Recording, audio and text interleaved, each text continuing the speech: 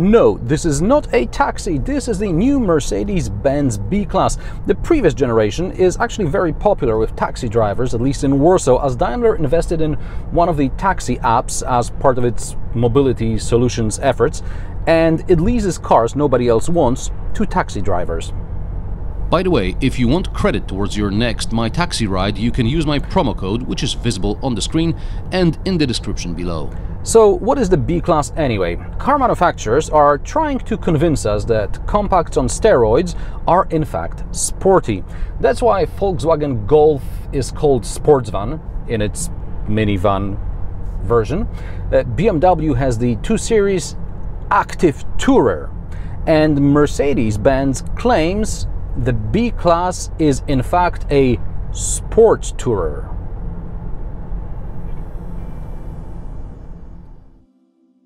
The Mercedes-Benz B-Class debuted in 2005 and was based on the second generation A-Class. The main difference was in height, which resulted in more space inside. Even today, the A-Class and the B-Class have the same footprint, but the B-Class is 12 centimeters taller. A taller car is easier to get into, especially if you're older. And even if you're young, but every now and then you have to drive your parents or grandparents somewhere, they will appreciate that they do not have to climb up inside the car like in an SUV and they don't have to fall down into the car like in case of a normal compact car. There's also more headroom, so even taller people than me, 175 centimeters I am, so even people who are taller than me will find a comfortable driving position here and the extra centimeters in height also mean there is more boot space. So cars like Mercedes-Benz B-Class should sell like hotcakes, but I don't see many of them on the road, except of course for the taxis in Warsaw and I saw one recently on the motorway driven by a couple of German pensioners with shawl slippers vibe. So what's wrong with this segment? Well. It's overshadowed by SUVs. An SUV says, Oh, my Sportage is so crazy, never mind, I have a baby. And the B class says, Kindergarten, supermarket, laundry. But you know what? If you have a healthy approach to life and you don't care if people judge you for the car you drive, you really should take a look at the B Class, the Active Tourer, or the Sports Van. Why?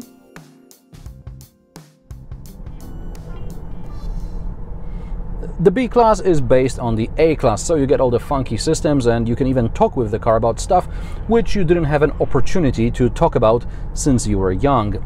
Hey Mercedes. How can I help you? What's the meaning of life?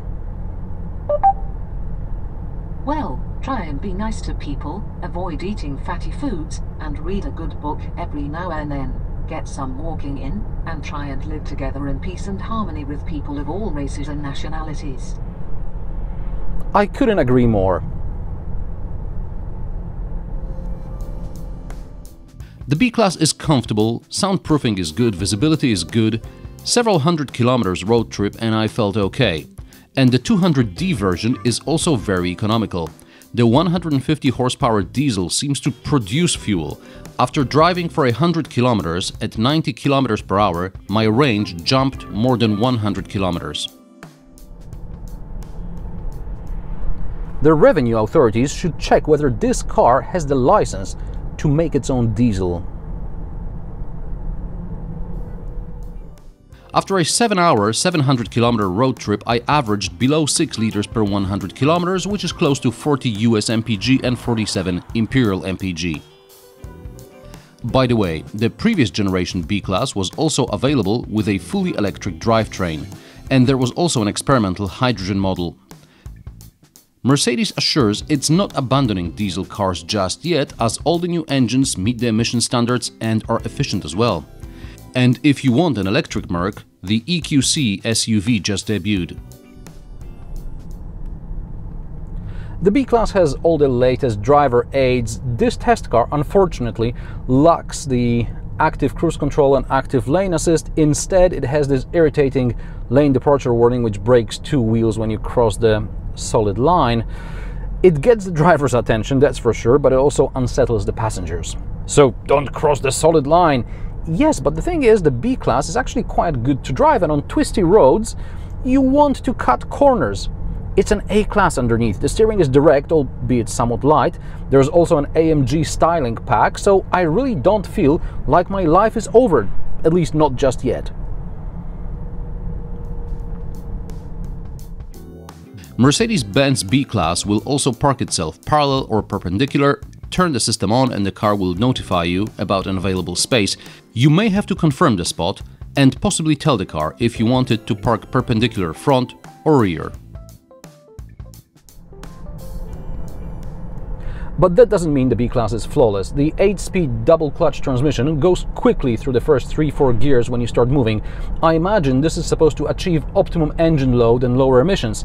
Once the car is doing 30-40 km per hour, it's fine, but taking off vigorously is very unpleasant.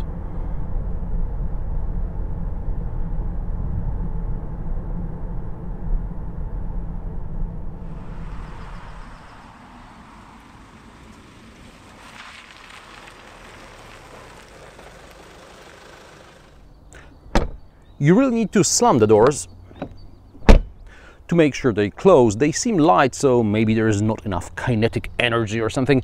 It's all the doors. Shut up, bird. It's all the doors, so it's not a matter of just adjusting one.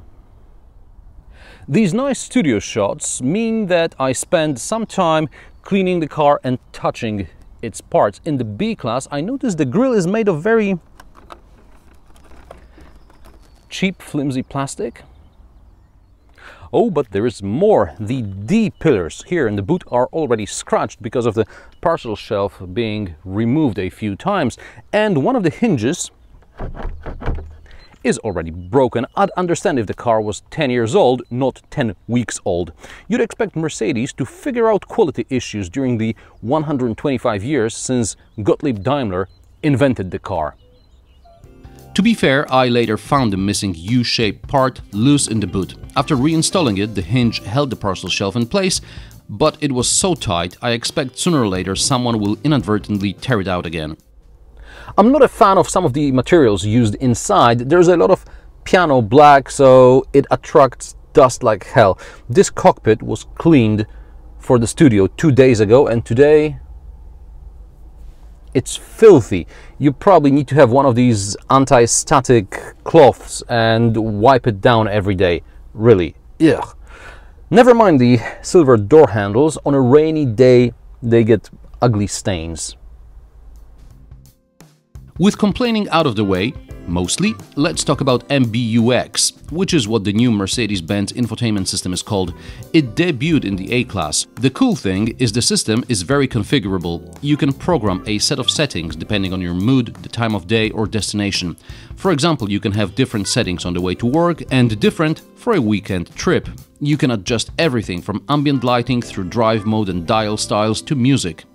With time, the system also learns the driver's habits and can suggest it's time to call your mother because you always call her on Thursday at 5 pm. Most of the settings can be adjusted using voice commands. Hey Mercedes, How can I help you? change ambient light settings to red. Okay, I'm changing the color. Hey Mercedes, How can I help you? Set the driver temperature to 25 degrees. 25 degrees on the driver's side. Hey Mercedes, How can I help you? navigate to Oxford. I am starting route guidance to St Giles, 62 Oxford. Hey Mercedes, How can I help you? Tell me a joke.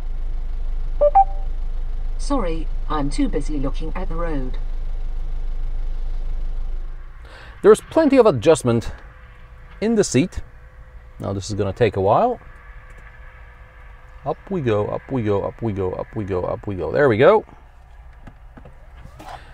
And in the steering column as well. So I guess just about anyone can find a comfortable driving position. The door pockets are large, so large in fact, I could stack probably three of these half a liter bottles in there.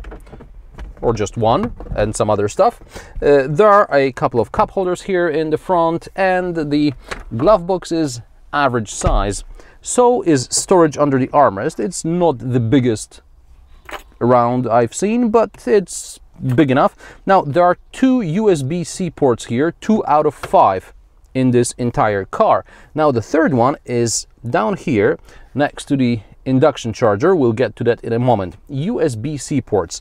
In its A-Class, this is the B-Class based on the A-Class. So the A-Class, which was launched in 2018, Mercedes decided to drop USB-A in favor of USB-C.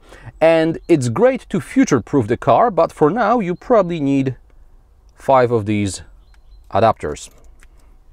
Now, back to the induction charger, which lives down here. If you have a phone which charges wirelessly, then you're fine.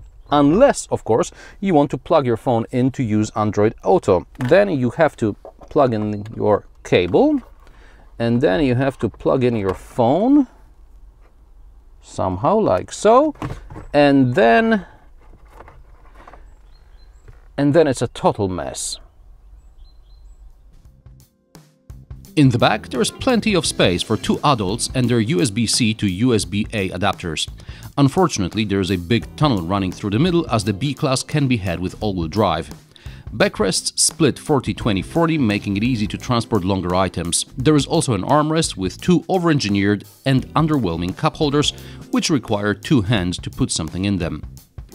Mercedes-Benz B-Class W247 is longer, wider and has longer wheelbase than the model it replaces, but the boot is 33 liters smaller in 5-seat configuration, at least until you get the sliding rear bench, which expands boot space from 455 to 705 liters. Fold the backrests and you get 1100 liters, which is 35 more than in the previous generation. There are two shopping bag hooks, a double floor, an elastic band, two netted alcoves. You can open and close the boot by gesture or using one of the two buttons on the tailgate, one of which also locks the car. Mercedes-Benz B-Class is available with petrol and diesel engines with displacement ranging from 1.3 to 2 liters and power from 95 to 224 horsepower front-wheel drive or all-wheel drive. The less powerful engine versions get 6-speed manual or 7-speed DCT, while the more powerful motors come with 7 or 8-speed double-clutch transmissions. Prices start at 28,000 euro. This test car is a 150 horsepower 2-liter diesel with front-wheel drive and 8-speed DCT. With options, it costs more than 50,000 euro. I like the general idea of compact minivans. They are practical, economical, comfortable and they can make your life easier. I just wish Mercedes improved the quality of certain elements because for 50 grand I'd at least like a solid grille. And what do you think about the Mercedes-Benz B-Class and other mini sport tourers? Let me know in the comment section below, subscribe if you haven't, like and share this video with your friends who might be looking for a new car. Join me for new reviews every Friday. Thanks for watching and I will see you in the next one. Shut up, bird.